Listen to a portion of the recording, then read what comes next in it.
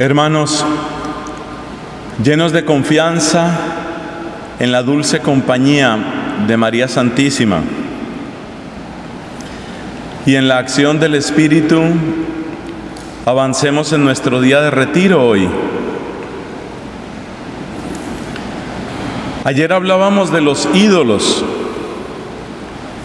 En la predicación de la Santa Misa nos referíamos al peligro que tienen los ídolos y cómo muchas veces lo que uno puede considerar bueno, al final no era tan bueno.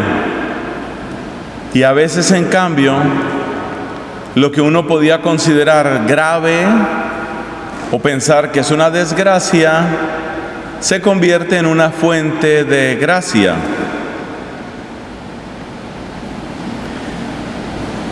Hoy vamos a hablar sobre el pecado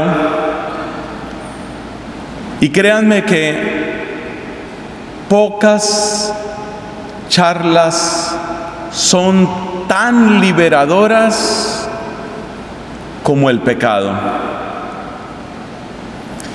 Cuando vas donde el médico porque te sientes mal, hay una pregunta que perfora tu mente. ¿Qué tengo? ¿Qué es lo que tengo? y cuando el médico te dice lo que tienes, ahí hay un descanso. Aunque a veces eso que se tiene puede ser grave. En mi vida no me he encontrado una sola persona que diga lo siguiente, yo prefiero no saber qué es lo que tengo, aunque sea algo grave, todos queremos saber qué es lo que nos está sucediendo. Pues en la vida espiritual es lo mismo. Cuando nosotros reflexionamos sobre el pecado, es como encontrar eso que me está sucediendo, eso que me ha hecho daño, que me ha venido haciendo daño. Porque mientras uno tiene un diagnóstico equivocado, no hay tratamiento que sirva. Y a veces las personas en casos graves llegan a morir porque el diagnóstico correcto tardó demasiado tiempo en llegar.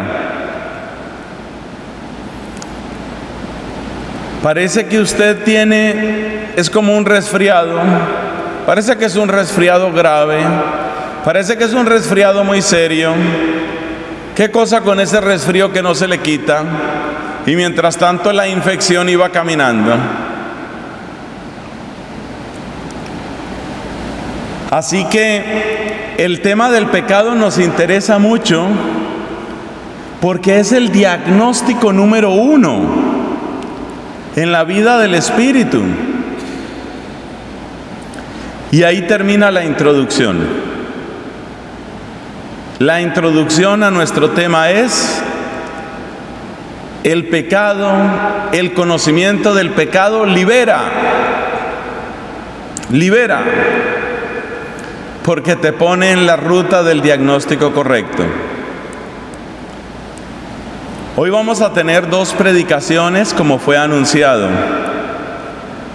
La primera es sobre heridas y condicionamientos que son como las circunstancias exteriores que nos limitan. Y la segunda es propiamente sobre el pecado. Yo creo que a medida que vamos hablando se va aclarando mejor el tema. Partamos de una base. Cada uno de nosotros llega al mundo en circunstancias concretas. Somos hijos de una determinada familia, de unos papás, Y esos factores no los podemos cambiar. Quizás tuvimos un muy buen papá, quizás un papá ausente, quizás un mal papá. Eso no lo escogimos nosotros. Tampoco escogimos muchísimas cosas de nuestra infancia, de nuestro país de origen. Y todas esas cosas que no escogimos, sin embargo, tuvieron una influencia en nosotros. Por ejemplo, un papá indiferente o una madre insegura o unos hermanos viciosos o un barrio peligroso o un país marcado por la violencia o un ambiente de pobreza, esa clase de cosas no las escogimos, pero sí influyeron en nosotros. Por eso hay que evitar la idea de que somos culpables de todo lo que nos ha sucedido. Eso no es cierto. También hay que evitar la idea de que somos únicamente el producto automático de unas circunstancias. Las circunstancias sí tienen peso, pero las circunstancias no son todo. Santo Tomás de Aquino dice que para evaluar moralmente una situación hay que mirar qué era lo que se quería hacer, para qué se quería lo que se quería, es decir, la intención, y en qué circunstancias. Las circunstancias importan. Y hay personas que son muy duras con ellas mismas porque se les olvida evaluar ese aspecto de las circunstancias. Para empezar a mejorar la vida, mejorarla de cara a Dios, es indispensable reconocer nuestro entorno y reconocer nuestro mundo interior lo que somos por fuera, lo que somos por dentro. Pues lo que somos por fuera, en buena parte depende de cosas que nosotros no decidimos. Y es ahí donde aparecen los condicionamientos y es ahí donde aparecen las heridas y es ahí, por consiguiente, donde necesitamos realmente ser sanados, ser liberados, ser consolados. En el capítulo 40 del profeta Isaías se habla hermosísimamente de esa consolación que Dios trae a su pueblo. Es verdad que nosotros mismos tenemos una cierta responsabilidad en nuestra vida. Y es ahí donde propiamente entra nuestro pecado personal. Pero aún antes de que sucediera el pecado personal, es un hecho que nos han afectado los pecados de muchas otras personas. Y eso ha traído condicionamientos, ha traído heridas, y ha traído por consiguiente una necesidad profunda de sanación, de liberación y de consolación. No tengamos miedo de llegar a los pies del Señor para decirle, necesito que me ayudes, necesito que me sanes, necesito que me consueles necesito que me liberes.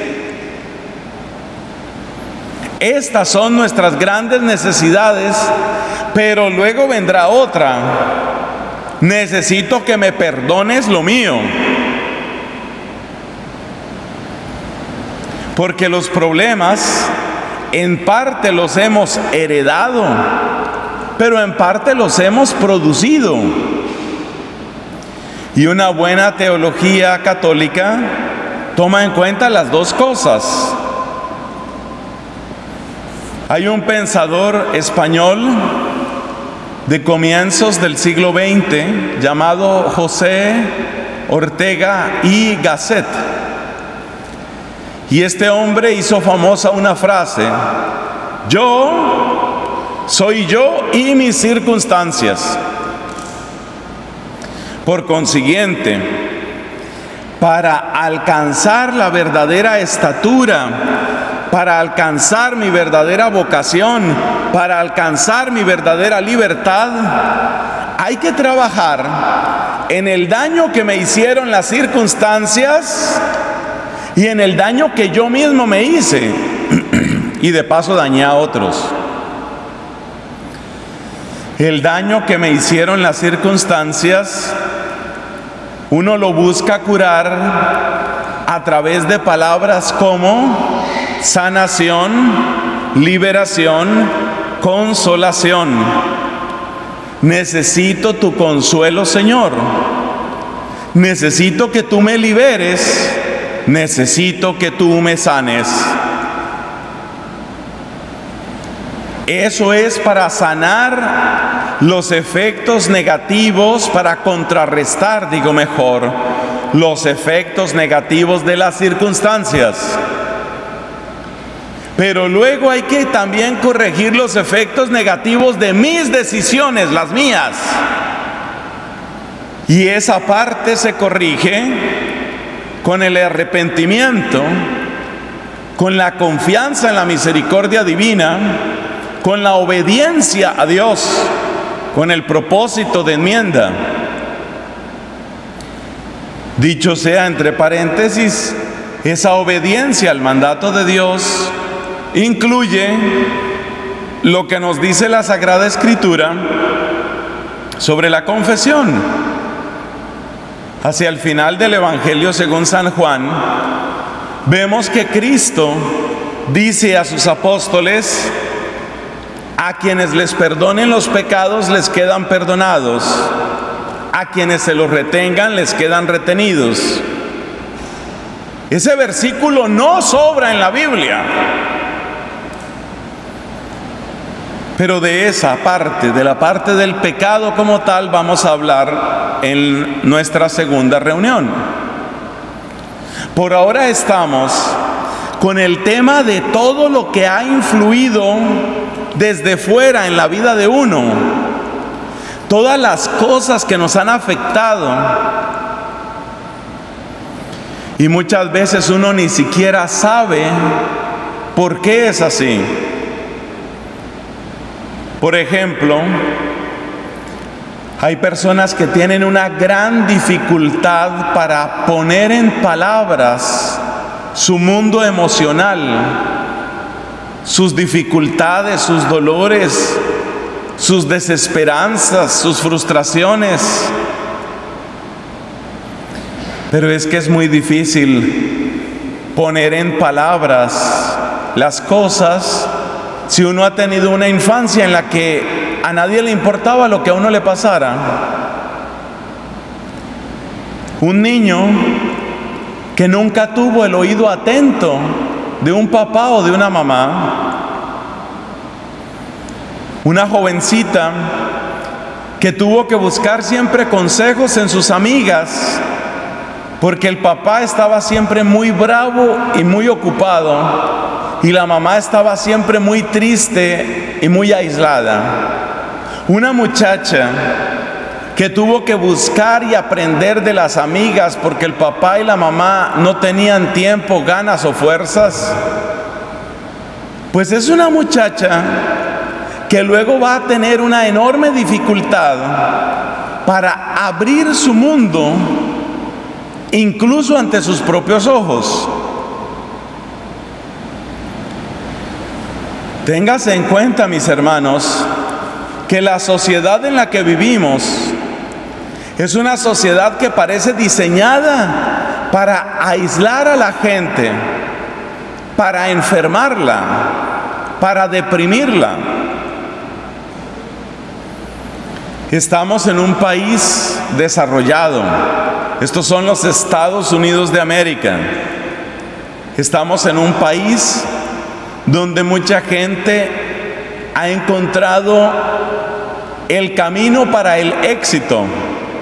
Y esa será la fuente de lo que se llama el sueño americano.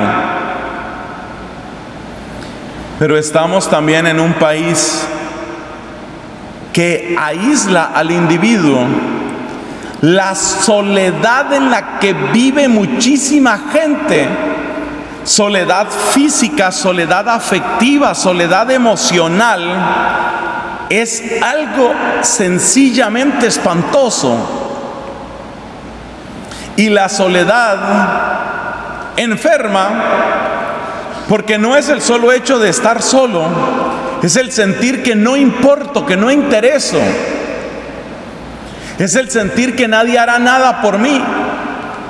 Es el sentir que solo cuento con mis propias fuerzas. Alguien decía, si buscas una mano que te ayude, encuéntrala al final de tu brazo. Es muy triste cuando hay que decir algo así, pero esa es la realidad que vive mucha gente.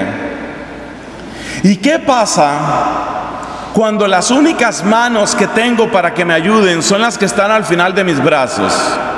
¿Y qué pasa cuando siento que mi vida no le interesa a nadie? ¿Y qué pasa cuando siento que mi único consejo es lo que yo pueda encontrar en internet? ¿Qué pasa cuando tengo que estar resolviendo mi vida así? ¿Qué pasa? Pues pasan muchas cosas que hacen un daño muy grande. Por ejemplo, si yo tengo que resolver todo lo mío, pues que nadie espere tampoco nada de mí. Bien dura me tocó la vida. Que el otro también trabaje, que el otro también se parta la espalda. A mí me tocó duro, a él tiene que tocar duro también. La sociedad del individualismo es la sociedad de la falta de solidaridad. La soledad hace un daño muy grande también en términos afectivos. Porque cuando una persona está en soledad es como la persona que está en el mar, como un náufrago. ¿Qué hace el náufrago? Se agarra de algo. ¿Y qué pasa si una persona está sola y lo primero de lo que se agarra es de alguien que ya está casado? Una mujer que se siente muy sola y de pronto encuentra sonrisa, cariño, atención, detalles de un hombre que está casado, fácilmente se aferra a ese hombre o a ese hombre que está separado o se aferra a otra mujer teniendo ocasión, porque así lo ha dispuesto Dios en mi vida, teniendo ocasión de ir a muy diversos países del sur y del norte y de Europa y de Asia, hay una cosa que me he dado cuenta. Cuando se trata de los afectos y de la vida emocional, la mayor parte, la inmensa mayoría de las personas no son capaces de razonar. Y esta es la gran dificultad en temas como la homosexualidad. Es muy distinto estar uno tranquilo, estable, saber que tiene sus amigos, saber que tiene una familia amorosa y luego sentarse al escritorio y leer sobre ese tema. Ese es un, ese es un cuadro, pero ese no es el cuadro de la mayor parte de la gente. La mayor parte de la gente está naufragando en una soledad muy dura y de repente encontró alegría, compañía, importancia, estímulo en un ser humano. Que sucede que es un ser humano de mi mismo sexo, pues, ¿qué importa? Es la única persona que ha hecho algo por mí. Es la única persona que me ha rescatado de la soledad. Por supuesto, ponte a hablar con un náufrago que está aferrado a un trozo de madera y tú le dices, ese trozo de madera contiene una sustancia venenosa, pues ya me voy a envenenar. Yo no voy a soltar la única madera. Yo no voy a soltar el único rescate que ha llegado a mi vida. Y por eso muchas de estas personas con las cuales hay que tener el más exquisito respeto, y quiero ser claro en esto, muchas de estas personas que están en adulterio, que están en unión libre, que están en homosexualidad, muchas de esas personas sencillamente no pueden razonar, no pueden. ¿Por qué? Porque resulta que esa pareja que tienen es lo único que han tenido. Y por eso muchas de esas personas, cuando llega a la iglesia católica y les dice, mira, no vivas en unión libre, mira, no vivas con otra mujer o no vivas con otro hombre, mira, no vivas en adulterio, el divorcio no se debe hacer. La gente bien agarrada a su madero dice, ¿sabe qué? ¿Quiere que le diga? Yo necesito es otra iglesia. Yo necesito otro papa. Yo necesito otro catecismo. Cámbienme el catecismo. Cambien el papa. Y por eso la gente cree, y alguna gente cree que eso puede suceder. Por eso la gente cree que el problema es que la iglesia evolucione, entre comillas, pero lo que ellos entienden por evolución es que la iglesia deje de reprocharles que se hayan agarrado a ese madero del que se agarraron. Ahora te das cuenta cómo es de complicado este tema. Una persona en esas circunstancias no alcanza a razonar, no, no, no lo logra. Porque el solo considerar la hipótesis de que voy a perder lo único que he conseguido, y eso único que he conseguido puede ser una relación de adulterio o una relación homosexual o lo que sea, la perspectiva de que voy a perder lo único que he conseguido, significa la peor pesadilla, porque significa que entonces, ¿qué voy a hacer? Significa que voy a quedar otra vez náufrago. Y si voy a quedar náufrago, pues mi vida va a ser solo desesperación y caos. Incluso dentro de la iglesia hay personas que creen que la manera de ser misericordiosos es abrir la puerta a todas esas situaciones. Porque consideran que como todos estamos en el mismo naufragio, entonces hay personas que piensan, bueno, yo por lo menos tengo mi esposa que flota. Tengo mi esposa, yo no dije que traía salvavidas incorporado, pero por lo menos mi esposa flota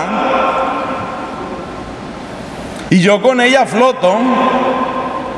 Entonces hay gente heterosexual, por ejemplo, que apoya una postura muy abierta, la llaman muy abierta, con respecto al homosexualismo, pero la razón es que ellos parten de la base del naufragio. Ellos parten de ese telón de fondo.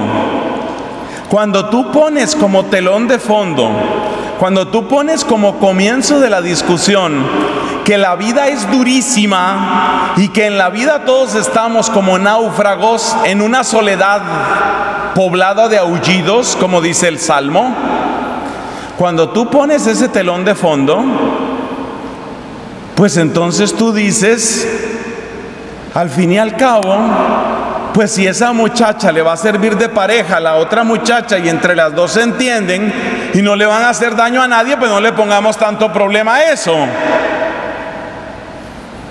Por eso se hace mucha presión en la Iglesia Católica con respecto a este tema. Pero la postura de la Iglesia Católica es mucho más valiente es mucho más profunda. La postura de la Iglesia Católica es, acabemos con el naufragio, acabemos con la angustia existencial que produce esa soledad, acabemos con el poder exasperante, frustrante, abrumador de la soledad. Acabemos con eso.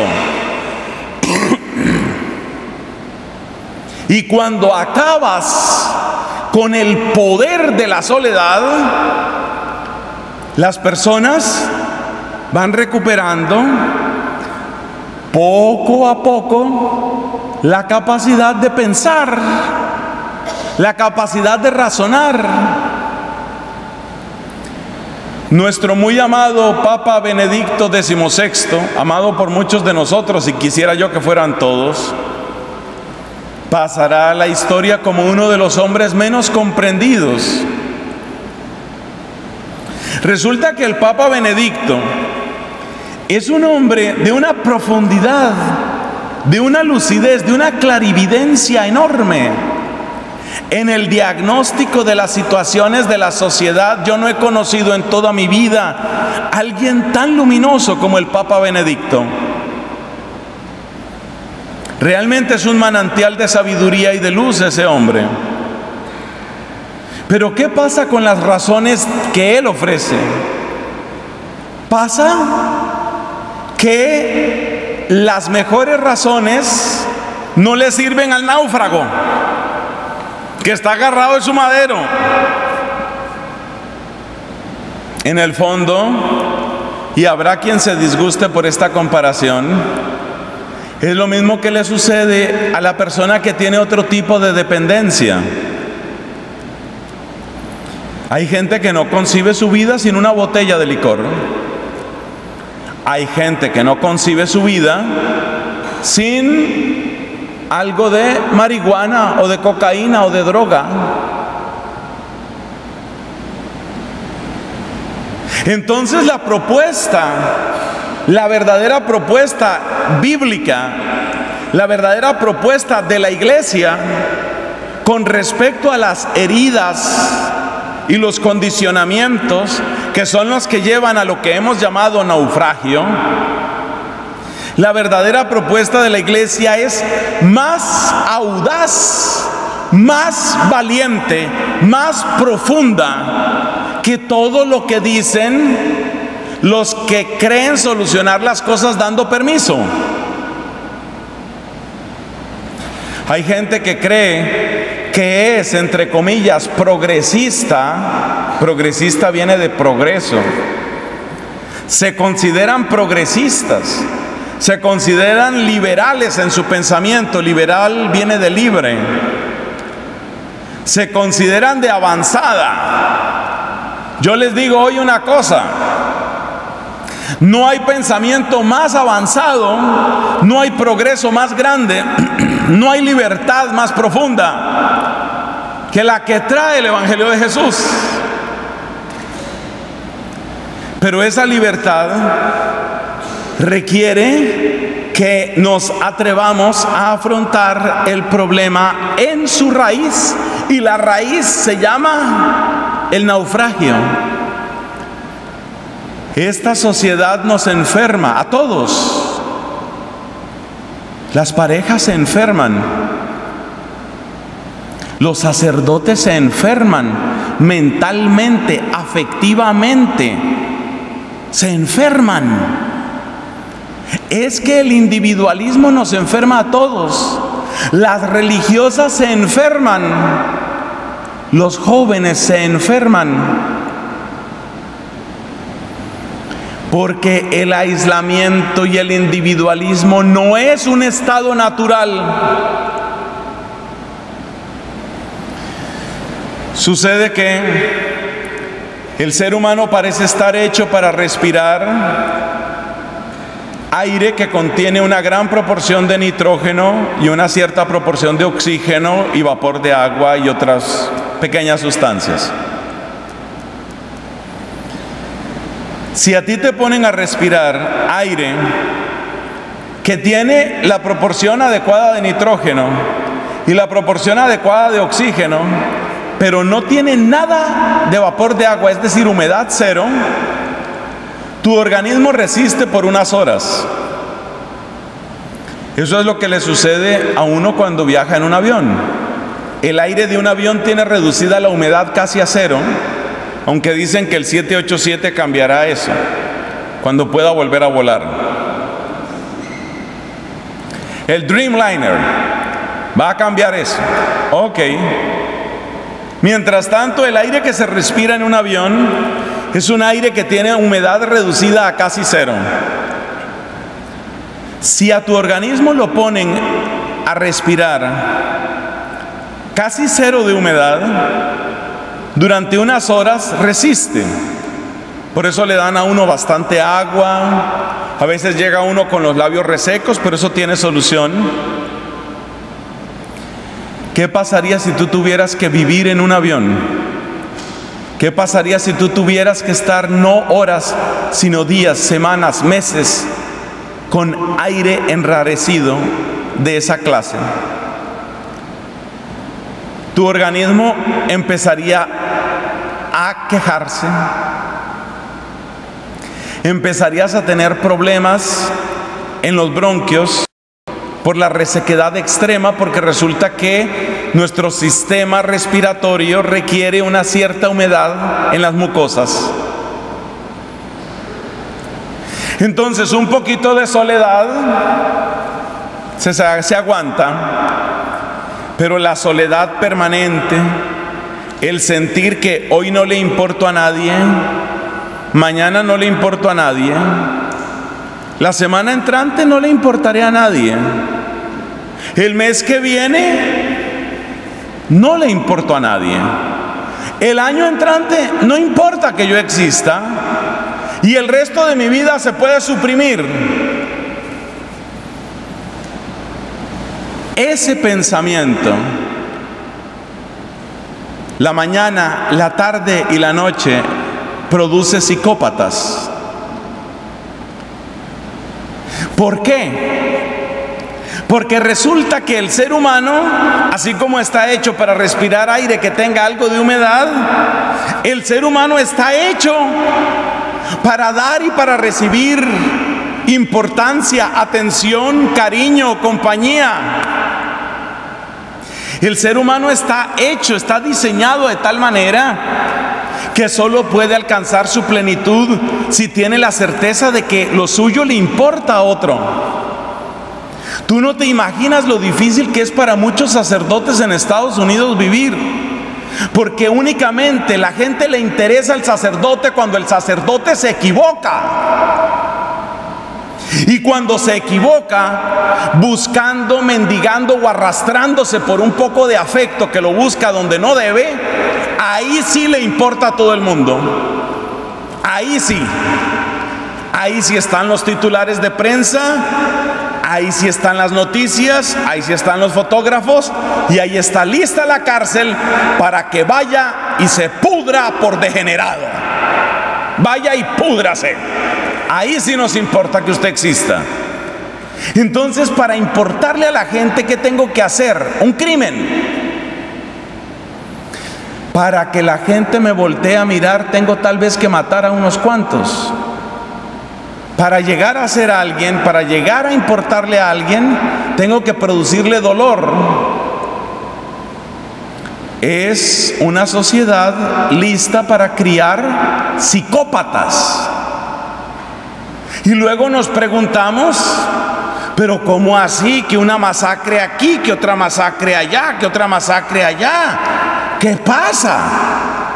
¿Se necesita control de las armas? Tal vez sí, tal vez sí, tal vez.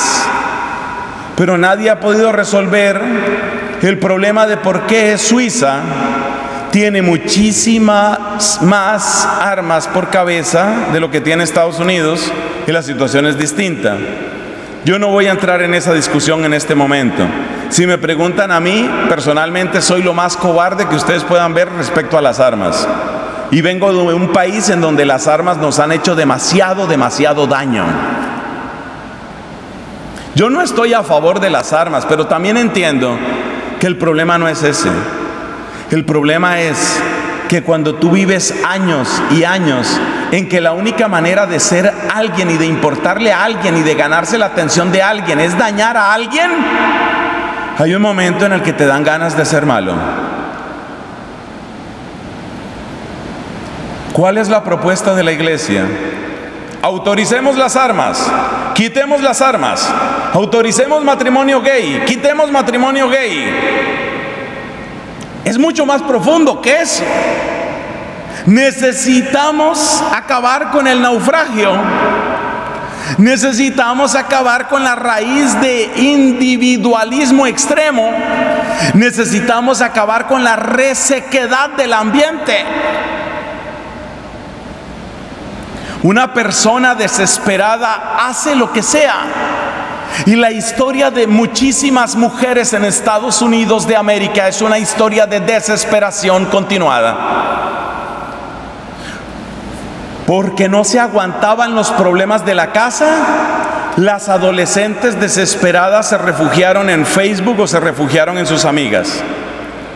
Porque no se aguantaban la soledad del corazón, buscaron un novio que les hiciera sentirse importantes porque no sabían cómo gobernar sus propios sentimientos y afectos, entonces se metieron a una vida de intimidad que no podía conducir sino a lo que condujo, a un embarazo. Como no saben, no, como no tienen idea de qué significa, de cómo podrían ser mamás, una nueva desesperación les lleva a abortar. Hay tantas personas, tantas, tantas, en este país, tantas mujeres que yo conozco, que han ido rebotando en las paredes de un abismo doble que se llama la desesperación. Por desesperación hice esto, por soledad hice esto, obligada hice esto. Por eso, entre otras cosas, solo Dios puede juzgar. Solo Dios. Y ustedes saben que como somos los católicos, por supuesto que soy absolutamente, totalmente, 101% pro vida. Pero eso no significa que nadie nos autorice a juzgar a la mujer que aborta. Nunca. Tú no sabes lo que ha vivido esa persona. Y lo mismo, nosotros somos defensores de la familia tradicional y con el sacramento del matrimonio. Pero no podemos juzgar la gran cantidad de personas que ustedes y yo conocemos han estado rebotando en un abismo doble. Desesperación, soledad, obligado hice esto, por soledad hice esto, luego traté de arreglarlo así. ¿Y cuáles son los fondos de ese abismo? Yo te los voy a decir. Un fondo se llama la cárcel. El país que tiene una proporción mayor de población en la cárcel en todo el mundo se llama Estados Unidos de América a la cárcel, ahí te controlamos o te matamos. Todavía hay gente que apoya la pena de muerte. La cárcel. O si no, el suicidio, la muerte. Durante el último año y medio, tanto en Europa como aquí en Estados Unidos, he tenido que seguir lo mismo que ustedes las noticias terribles de personas que después de una masacre o después de un secuestro o después de una lucha contra la policía, cuando todo está perdido, un tiro y se acabó. En vez de que el Estado me suicide, me suicido yo mismo. ¿No hay otro camino? Pues sí hay otro camino. Ese otro camino es tenemos que acabar con el naufragio. ¿Y cuál es la manera de acabar con el naufragio? La manera de acabar con el naufragio se llama comunidad. Se llama iglesia. Se llama palabra de Dios. Se llama oración compartida. Se llama abrazo de la paz. Comunidad. Esa misma muchacha que desesperada empieza a dar tumbos y que luego aborta y que luego se separa y luego se vuelve lesbiana y luego se reinventa y luego se prostituye y luego escribe un libro y se llena de dinero y luego con el dinero se droga. Esa misma muchacha, dale un grupo, dale una comunidad, dale una familia espiritual Dale un abrazo sincero, un abrazo que no sea para usarla. Dale un abrazo sincero y la salvas.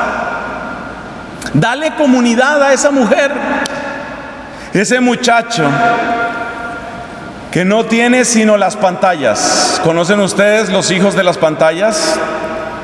Los hijos de las pantallas son los que pasan del Nintendo al Wii del Wii al Xbox, del Xbox a la televisión, de la televisión al smartphone y del smartphone al internet.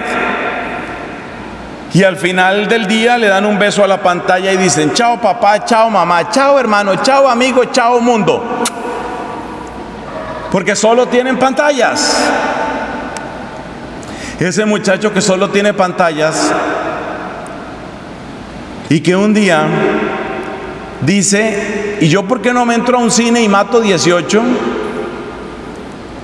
Ese muchacho, dale un grupo, dale una comunidad, dale una oportunidad de orar, dásela. Muéstrale que puede ser alguien y que es valorado y que puede marcar una diferencia positiva. Nada de raro que acabe de cura, nada de raro que acabe de misionero, Nada de raro que acabe teniendo el hogar más feliz de toda la Florida. Comunidad. La respuesta es comunidad, pero para llegar a ser comunidad necesitamos oración, sanación, liberación, consolación. Muchos de ustedes ya tienen algunas experiencias de comunidad.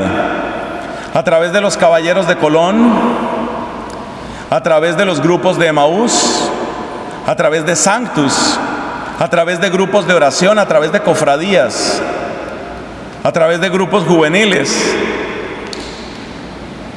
Bendito sea Dios.